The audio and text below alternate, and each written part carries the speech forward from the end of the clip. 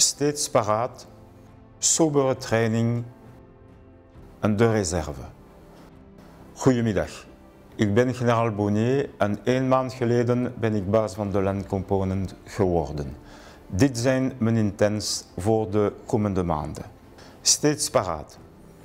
Elke militair van de Land Component moet altijd klaarstaan om in operatie te vertrekken, in het buitenland of op het nationaal grondgebied ten voordele van de Belgische bevolking.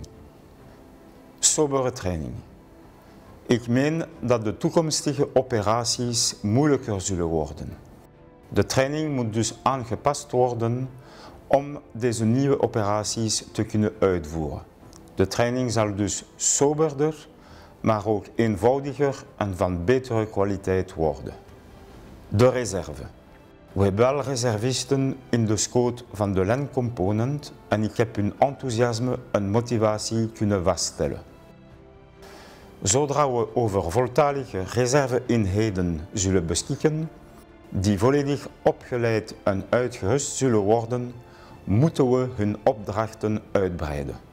Bedankt voor uw aandacht.